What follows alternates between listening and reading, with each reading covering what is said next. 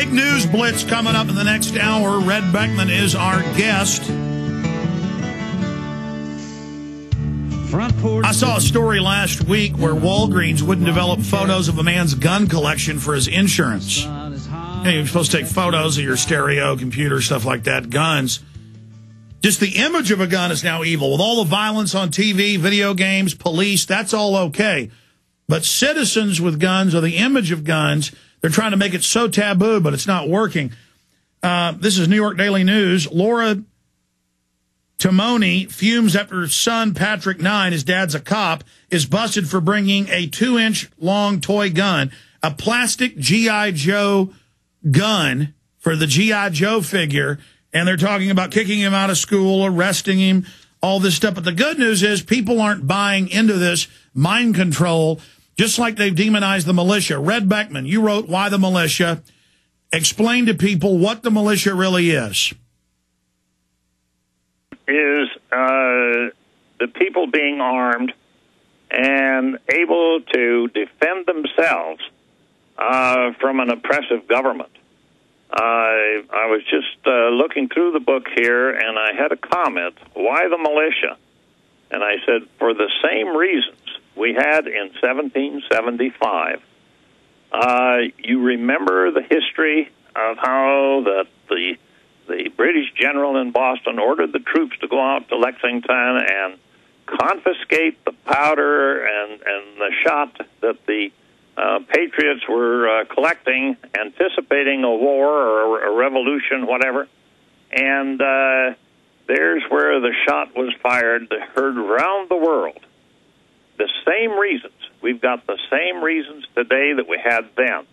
And uh, I'll tell you, uh, uh, if if you're not, if you haven't gotten yourself armed, my advice to you is do it and be part of this tremendous uh, operation that we've got going in this country to restore our lawful government. And uh, this detente, uh, if they hit us, we're, we're going to be equipped to hit them back.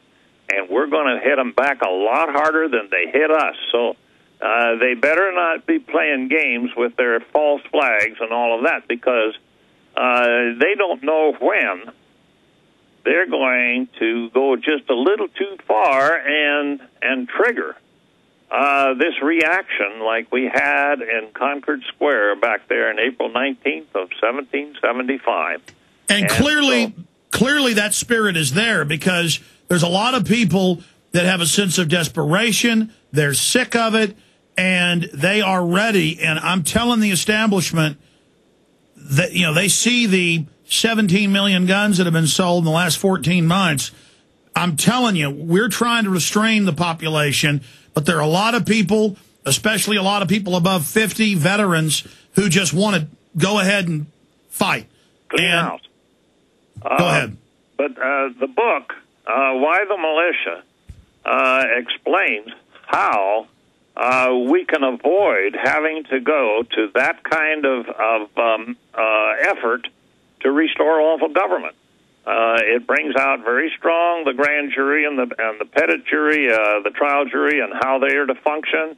Uh, it talks about the Federal Reserve Bank. And by the way, when have you heard anybody talking about what happens to the Federal Reserve if we could abolish the Federal Reserve and if the assets of the Federal Reserve was restored to the Treasury of the United States. Stop right there, Red. I'm going to twist your arm for five more because you brought that up. I want you to be able to flesh that out because remember what just happened in Iceland. They were telling the country they owed five times their entire wealth to the Bank of England and the Federal Reserve when they had run the scam on record to rob them. And when the public finally said no, the banks went, oh, look, we actually have the assets to pay this off. Stay there. Breaking news, ladies and gentlemen, into hour number four. Mark Dice, another devastating coup against the New World Order on one of the number one TV stations in California, reaching millions of people. A devastating guerrilla warfare info attack. And everybody can do what Mark Dice is doing, ladies and gentlemen. He will teach us Uh, he, he knows what he's doing. Just like I can teach you something, he can teach you something, you can teach me something. Uh, Red Beckman can teach us so much. All of us. I'm just an average guy from Dallas, Texas, who's red blooded and loves freedom. And I found out about the New World Order and their own quotes and their plan. And I said, I'm not going to be a slave. And let me tell you something. If I thought I fought hard eight years ago when I had my first child with my wife, I began to fight even harder and uh, fully commit myself. I mean, I thought I was fighting hard before. Now I'm fighting for their life. I don't really care about my life. Uh, when you've been fighting this long and this hard and been persecuted like I have, Red Beckman's had his house bulldozed and he never even talks about all the persecution he's gone through. You get to the point where you don't even care. All that matters is justice. Red Beckman, finishing up here because you keep intriguing me, you were pointing out what would happen under the comprehensive annual financial reports in the double set of books. Uh, the bankers are fabulously wealthy. They have more wealth than all the nations combined. If we take their fraudulent wealth, that would fix all of our problems and put dividend bank accounts for everybody. That's how much wealth they've stolen. Uh, well, let me let me say this: there's very few people uh, that have understood this. I explained this to uh, our friend uh, who just passed away uh, back about 20 years ago, and he hadn't uh, he hadn't really comprehended this, and he Eustace had written uh, the book The Secret of the Federal Reserve back in the early 50s, but he hadn't really connected all the dots. Uh, back in the 80s, after Nixon deregulated gold, gold mining just blossomed and exploded worldwide. And where was all that gold going? it wasn't being bought by Joe Sixpack because he didn't have enough money to buy it. It was being bought up by the Federal Reserve Bank with those hundred dollar bills that they were going to the U.S. printing press or the printing office, and they were buying hundred dollar bills at that time in in 1984. I'm thinking of that year in particular.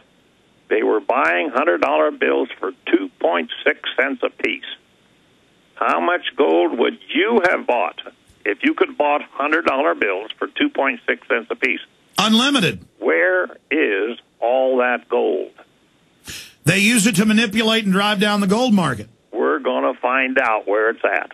I, I, I'm so sure that this is coming. Uh, you know, it's past my uh, time when I can work on it that much, but I'll tell you, there are people out there that are working on this very very good quality people that are working on this.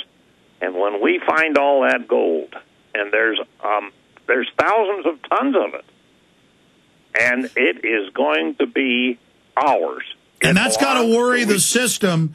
That's got to worry the system to know there's all these millions of investigators crawling over everything they're doing. They're they're, they're sticking their nose into everything, and and uh, uh, you know, I, I can sit on the sidelines now, and I'm the cheering section, uh, and I'll be cheering them on. And uh, so uh, we're going to find out where is all of that wealth, and I think there's enough to uh, uh, just uh, absolutely restore this country back to its position where it belongs as the the, the the freest, most most free people on the face of the earth. Absolutely, Red. We're out of time. Uh, how's your health, my friend? You sound great. Well, I'm I'm uh, I'm surviving, and as long as I can keep stimulated as I am, I think I'll be I'll be pretty hard to knock down. So uh, it's not been good, but uh, for 81, I'm I'm uh, doing quite well. You're still kicking. You bet. Let me I'm say bye kick, to you. I'm going to kick butt after I'm gone. what a man. Let me say bye to you during the break. Mark Dice coming up. Major coup against the enemy operation. Stay with us.